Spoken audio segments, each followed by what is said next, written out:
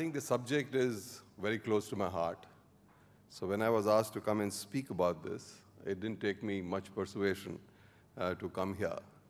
Um, Arun, I want to compliment you for uh, what you've been doing. I think your conclave is certainly going to be a place where ideas would get generated. And this particular subject of uh, India tomorrow, uh, the way you've dealt with India today, if you address India tomorrow, I'm sure you'll make it a success. Uh, 60 years, next year is going to be 60 years after independence. And I definitely is one, uh, am one who uh, would readily hang one's head in shame that our generation uh, has still left a very large part of our work unfinished.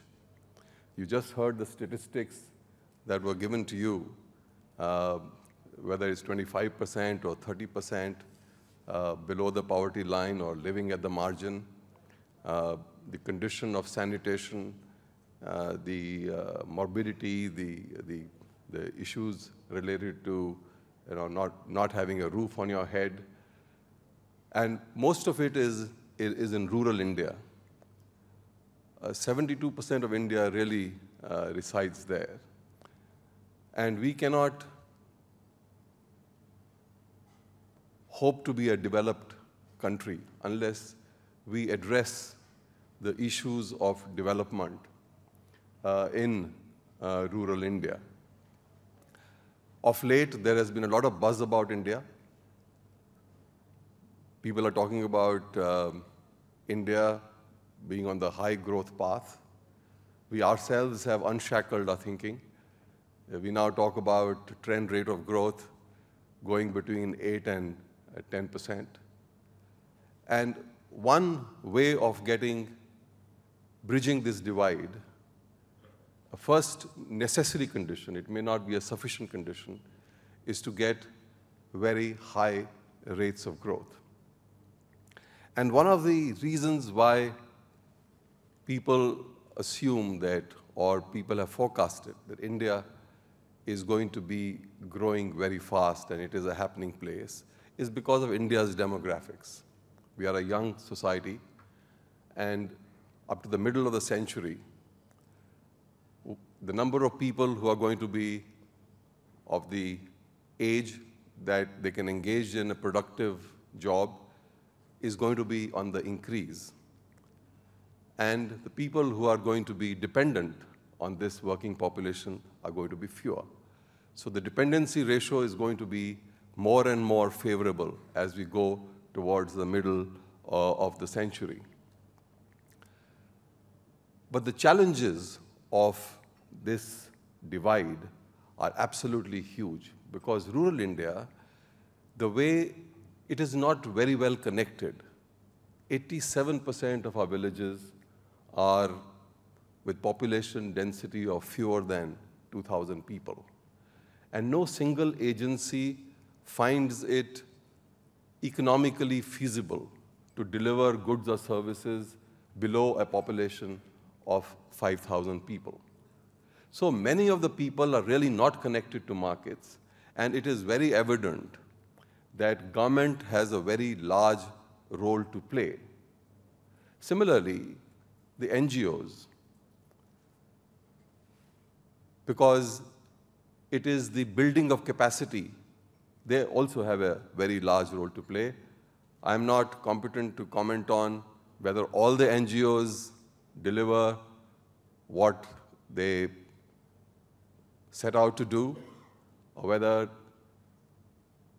all the NGOs are led by people who are passionate and committed and whether there is a governance reform required or there needs to be a regulatory environment related to the NGO sector, I'm not very competent to say. But I think the comment that was made earlier, that all organs of our society need to put their shoulder to the wheel, and that we together have to change things for India and for the Indian society. And definitely, business can play a very large role because business has the resources. But unfortunately, business leaders and businesses are measured somewhat unidimensionally, uh, if I might say so, with regard to the context of our subject. Financial performance is the one that takes center stage. The balance sheets of all the companies, what do they tell you? They give you various financial ratios. The stock market gets excited about whether the company performs financially or not. The balance sheets rarely tell you some of the intangible assets that are even more important, the ones that drive that economic performance, the vision, the values, the vitality of the organization, the quality of its distributed leadership, a whole host of intangible assets that drive a company forward. So what can business do to help bridge this divide? I think the first thing the business must do is to be able to stand on its own two feet in a globalizing environment. Each business needs to make sure that it is internationally competitive. And that itself can take a huge amount of resources, imagination, uh, organizational capability to be able to just do that then what else can business do? I have one belief, and you heard what ITC is doing. My belief is that there is no contradiction between securing competitive capability and making a true commitment to serve society. As a matter of fact, my belief is that businesses can create value both for society and for the shareholder. And that if you approach the business in its contribution in a comprehensive manner, which I would like to term as a contribution to the triple bottom line, not only profit and return on assets, but ensuring that the way you work, you are nurturing natural capital and you are growing natural capital, or at least not destroying it or minimizing its destruction. Uh, you know that India, in, if it has to have sustainable development, uh, India has issues related to quality of its air, quality of its soil, quality of its water.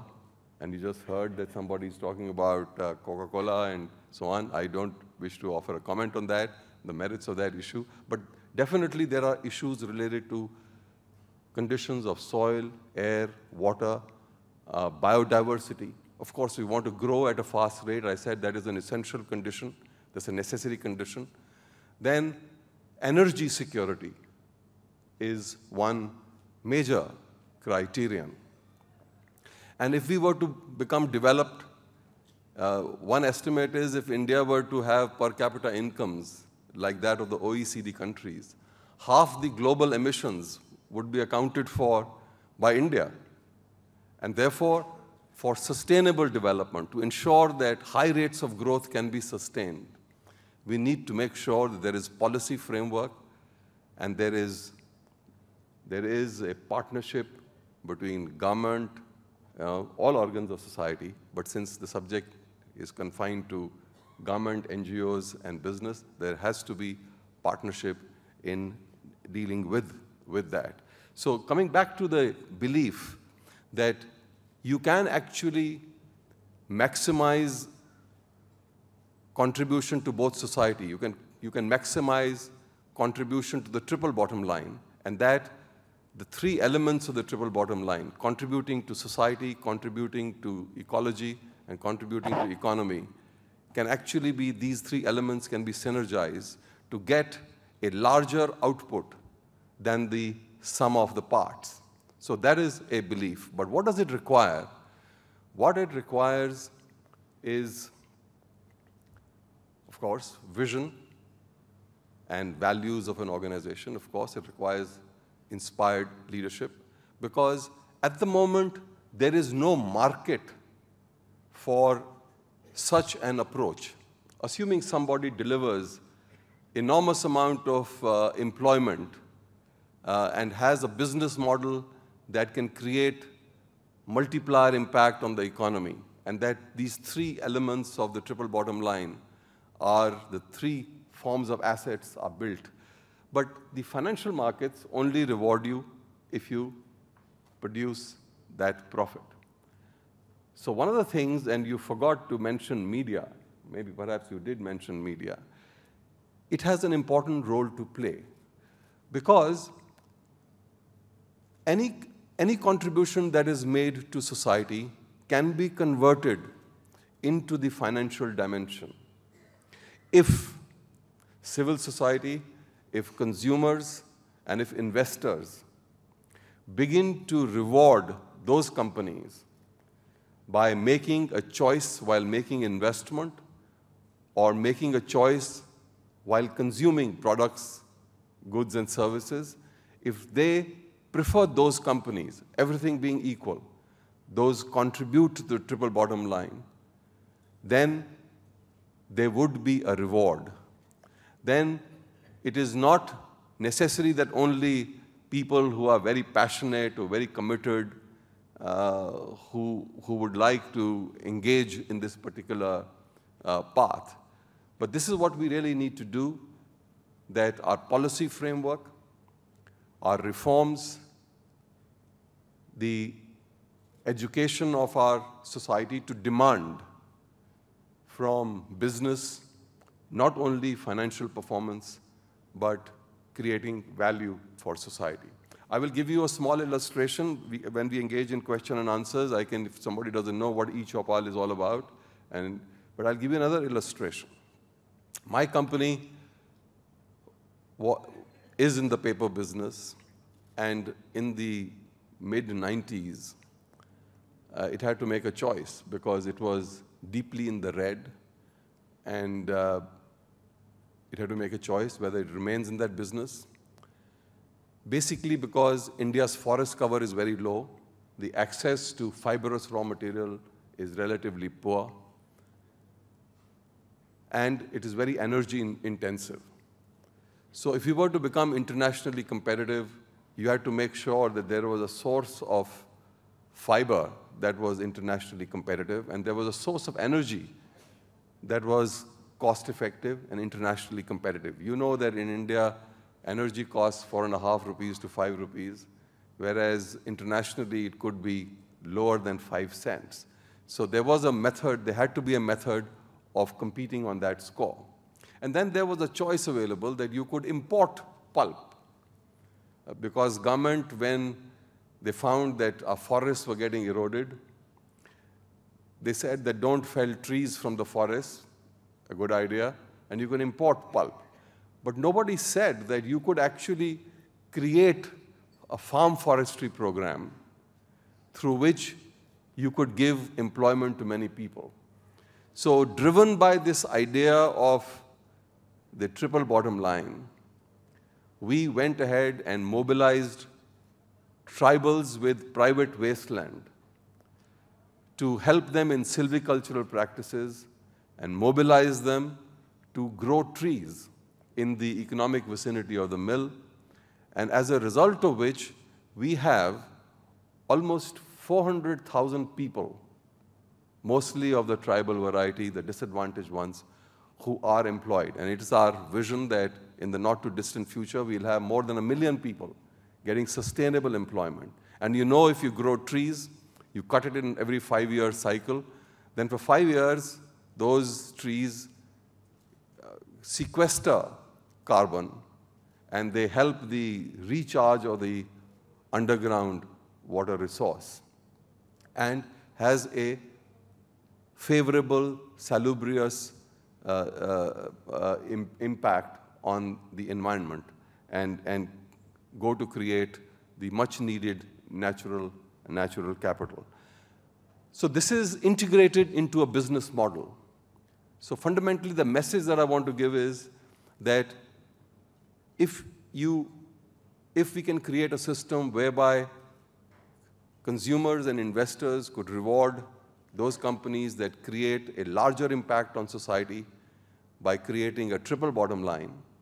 And if we could urge businesses to voluntarily declare their contribution to the triple bottom line, and if you could bring a system of transparency in this respect, and we could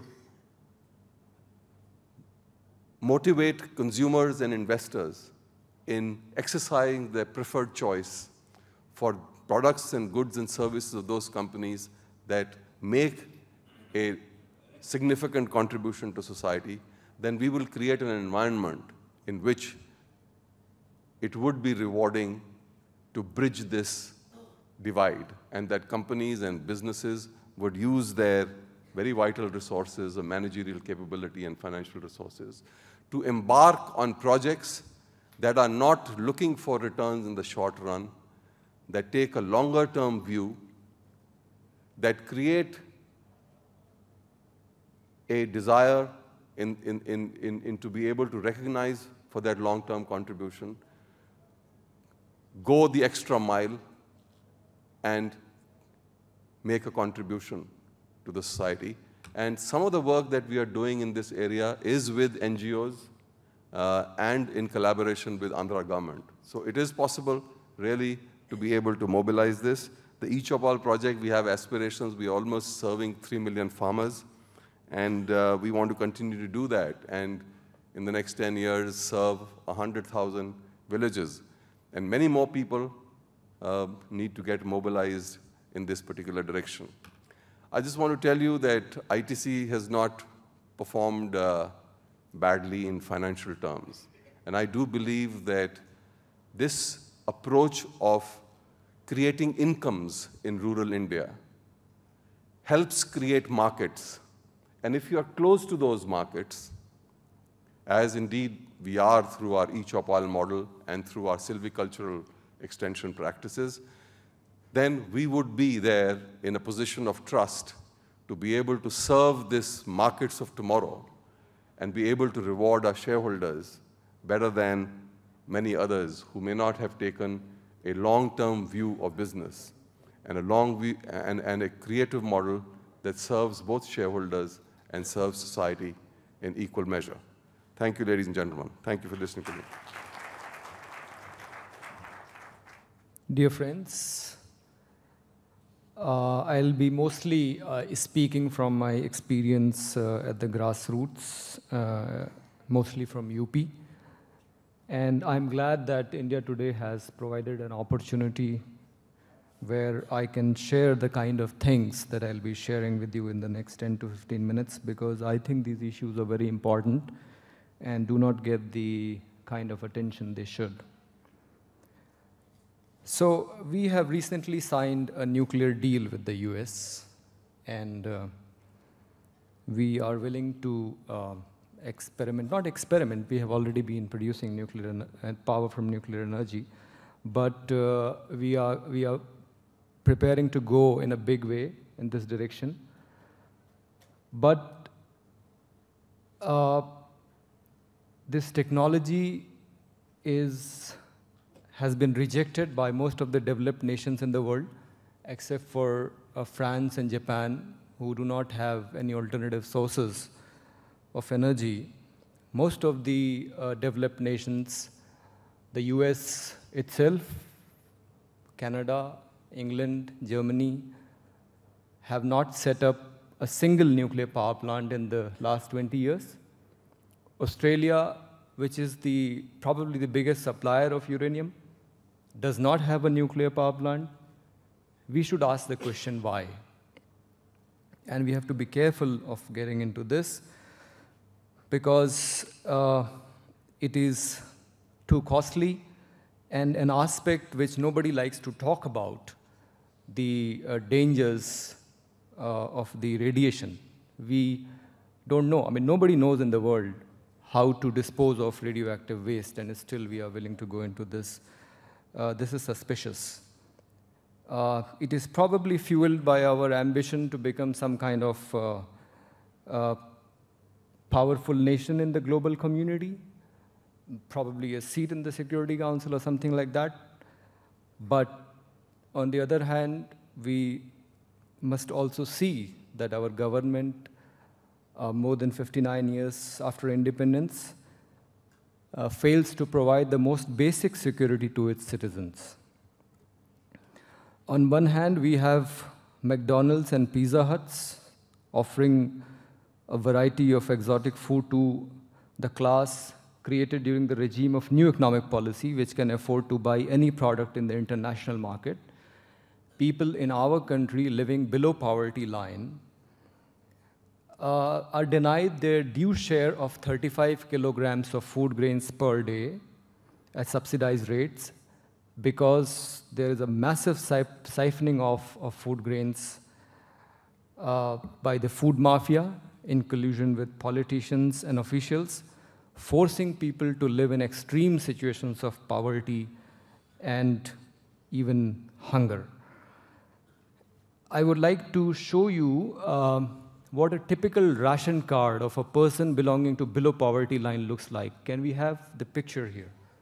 Now, what you see here is a picture of a below poverty line ration card. This particular one belongs to a person called Santu, who's resident of Chamarkheda in village Bangalpur in Hardoi district of UP. He is a landless Dalit who also happens to be visually challenged. This ration card does not sh show a single grain of food given to him during the past eight years. So uh, the second uh, picture will show you what the inside of the ration card looks like. He got some sugar and some kerosene in 1998. And after that, all his pages are blank. I have the original ration card here with me. And this is not an exception most of the ration cards of the below poverty line category would look like this, with blank pages. The food grains which are being sent for the poor people are not reaching the poor. Last two years have witnessed over 40 starvation deaths in UP, and we have seen farmers committing suicides in relatively prosperous states like Punjab and Andhra Pradesh because of their inability to repay loans. And these are recent phenomena in these regions. I would like to put up the pictures of two ladies uh, who appeared in a public hearing on 20th December 2005 in Gorakhpur.